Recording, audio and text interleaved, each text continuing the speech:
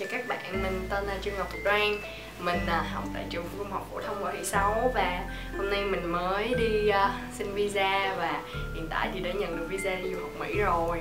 Um, Thì mình cũng có những kinh nghiệm muốn chia sẻ với các bạn. Thì uh, thường đi phỏng vấn thì các bạn uh, sắp theo hồ sơ Người nhà dặn dò và có thể uh, mặc uh, áo sơ mi và quần tây để cho uh, trong lịch sự và tôn trọng người nhìn hơn. Và trong quá trình ờ, phỏng vấn thì bạn sẽ có sự hướng dẫn của những người trong ờ, ờ, uh, ban lãnh sự quán.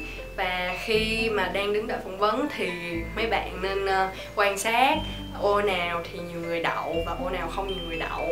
Thì thật sự thì lúc đầu mình có đứng sau một cái chú khá là già và chú đó thì đi di cư còn mình thì đi đi du học. Mình với chú cũng nói chuyện khá khá.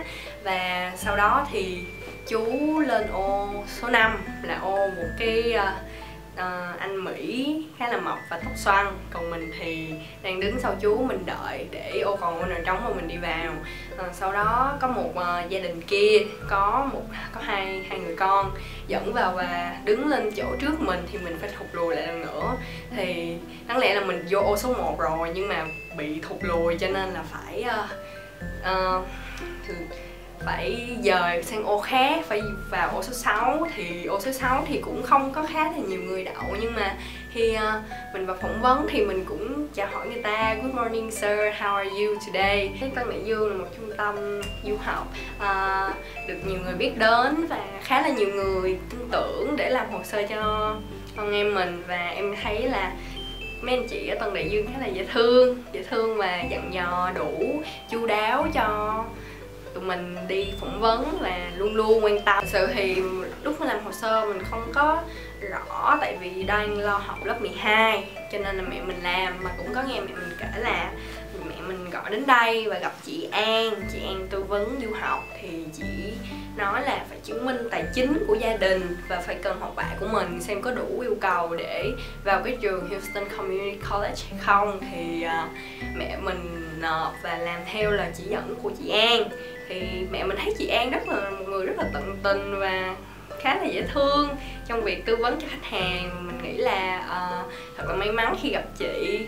Um, sau đó thì hồ sơ được tiến hành và uh, bên uh, Tân Đại Dương lại giúp mình nhận được Y20 trong vòng uh, một tháng một tháng. Và sau đó mình bắt đầu đặt lịch phỏng vấn là vào ngày 21 tháng 7 2016 và uh, mình thấy là um, quá trình tiến hành hồ sơ rất là thuận lợi rất là nhanh và không có gì trục chặt hết. Và mình thấy được mấy anh chị tư vấn thì uh, hồ sơ mới hoàn hảo và mới có được như ngày hôm nay à, thì uh, mình có người thân bên mỹ cô làm trong uh, cô làm cô là một người thiết kế thời trang làm trong ngành thời trang ở một công ty uh, cũng khá là lớn bên Mỹ. Thì uh, theo mình thấy thì người ta lúc đó chú cùng uh, à, anh anh cũng hỏi mình là có người thân hay không? Và qua đó ở với ai? Thì mình nói mình ở với gì? Mình nói một cách rất là tự nhiên. Mà ảnh ảnh thấy là ảnh có vẻ gật đầu và ảnh cũng không nghĩ gì cả. Nói chung là ảnh hỏi mình là giống như là ảnh tò mò chứ không phải là ảnh hỏi cung mình.